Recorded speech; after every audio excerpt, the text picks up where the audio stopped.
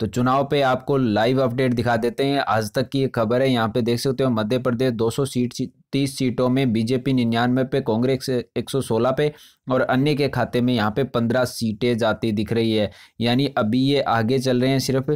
इसके बाद में मिजोरम में टोटल 40 सीटें हैं, जिनमें से 28 का रुझान आ चुका है, जिसमें कांग्रेस 11 पे एम एन एफ़ यहाँ पे 16 पे, बीजेपी ज़ीरो पे और अन्य एक पे यहाँ पे आगे चल रहा है। राजस्थान की बात करें, वहीं पे बीजेपी चौरासी सीटों पे, कांग्रेस 110 सीटों पर अन्य के खाते में एक सीट जाती नज़र आ रही है फ़िलहाल।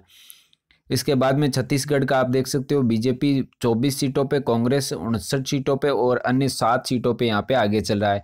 और बाकी के जो रुझान है, थोड़े ही समय में आ जाएँगे और कुछ टाइम बाद आपको पता भी चल जाएगा कि किसकी सरकार बनेगी।